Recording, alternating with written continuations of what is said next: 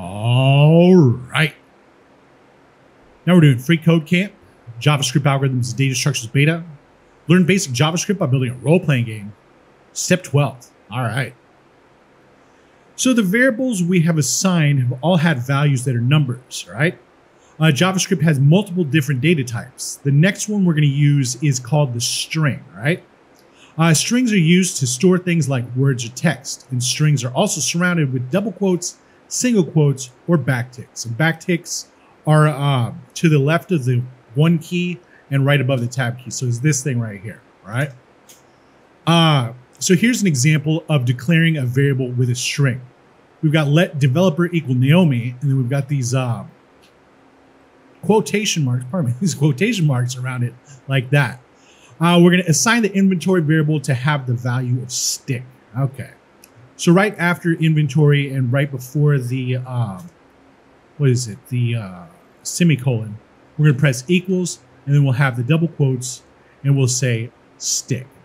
Now, like it says here, single quotes will work, but the thing is, and I've said, I think I said this in another video, uh, whenever we've got apostrophes like this, like it sticks or something like, like if it was like uh, the sticks, the sticks bark or something, you know, whatever, whatever. anyway, uh, whatever. So if we had, if we had these right here, what we would have to do, so you see this right here, you see this problem? What we would have to do is we would have to uh, cancel, we'd have to delineate this from these by putting this uh, backslash in front of it. And that just gets to be kind of annoying, you know? So if we just get into the habit of pressing, uh, what is it?